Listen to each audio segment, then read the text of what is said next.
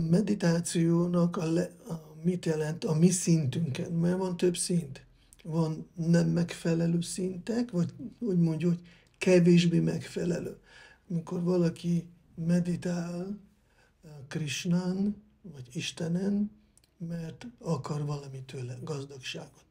Valaki szenved, és akarja megszüntetni szenvedést. És valaki hálás akar lenni. Szóval meditálni Krishnának a lótuszlában, ez érezni hálát ő iránt. A mi szintüken ez a meditáció. És mondjuk a mantrát, mert mantra segítségével.